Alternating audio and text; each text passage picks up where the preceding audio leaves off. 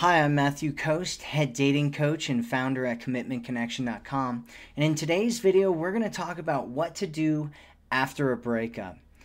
If this is your first time to our channel, make sure that you go and hit the subscribe button to get more videos on how to have the relationship that you've always wanted. So, breakups are one of the most miserable things that anybody has to experience in their lives. There's uh, some studies out there that show that um, breaking up with somebody almost feels like uh, you're losing a part of your identity. You're losing a part of who you are.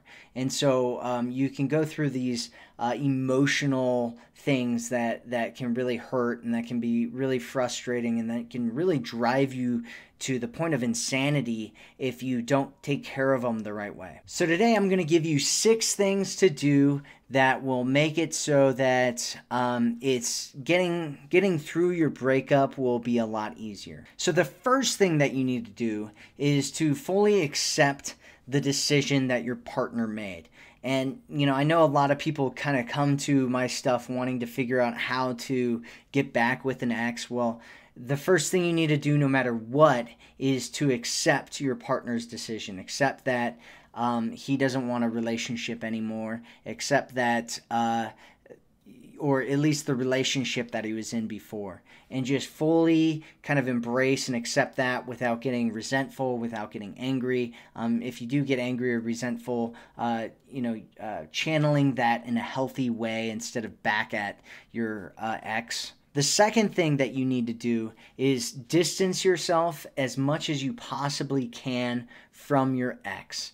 And so you'll want to, uh, you know, either block him or get off social media yourself altogether so that um, you're not seeing his stuff, you know, uh, put his stuff somewhere. If you have clothes of his, if you've got whatever things that remind you of him, uh, try to put that somewhere. I know uh, some people still work with their exes, and that can be a really, really difficult situation, but try to do it as much um, as you possibly can, where you're kind of putting, uh, you're distancing yourself away from him, you're distancing yourself from uh, anything that's going to trigger emotions that will bring him back up. The third thing that you need to do is to uh, not pretend like everything's fine, but instead uh, take some time to mourn, take some time to heal, take some time uh, for yourself to cry, to you know watch some whatever movies, to eat some uh, chocolate, to uh, eat some you know ice cream or whatever you do to kind of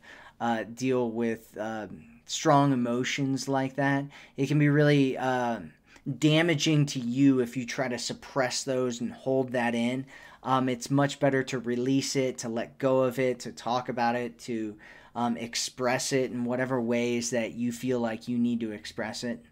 The fourth thing that you need to do is to uh, maybe give yourself a makeover, maybe give yourself a haircut, maybe uh, go and do something where you're taking care of yourself or you're making some kind of change, possibly getting some new clothes or something that can um, your physical changing something in your physical environment especially with yourself can kind of uh, uh, almost like um, create a uh, like this psychological experience of moving on or moving forward or uh, uh, becoming somebody new or um, getting somewhere and and uh, being somebody different. And uh, the re like we talked about earlier, the reason that this is important is because a lot of times when you go through a breakup, it feels like you're losing a part of yourself. So reclaiming that by changing things up in your environment or with yourself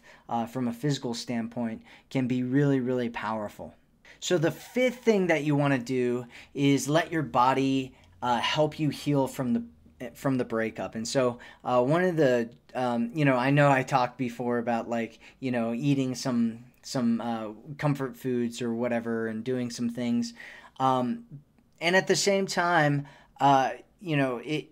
I, I think it can be very helpful to do that and um, you know kind of get to this place where you're uh, it's it's almost like um, you need to uh, the, the only way out is through, right? And so uh, getting through those emotions, like uh, triggering those emotions um, through through eating you know, and, and even coming out of that and being like, oh, I feel like crap about myself, um, can be a really powerful way to explode out the other side and start doing really healthy things like, you know, exercising more, or, uh, going for jogs, or, um, you know, doing things, uh, practicing yoga, doing things where um, you feel like your body's healing, like your body's growing, like your body's coming out of it and becoming stronger and more powerful, um, and just allowing your body to do those types of things can actually help you get through the healing process. So, the sixth thing that you'll want to do is uh, take some time and bond with.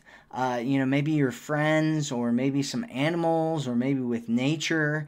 Go and, and just uh, create some emotional connections or deepen some emotional connections with with people that you care about, some people that you know, some people that you like um, not as a way to like you know the the uh, doing it in constructive ways, not in destructive ways. Destructive ways would be like going out and trying to get a rebound hookup or something like that.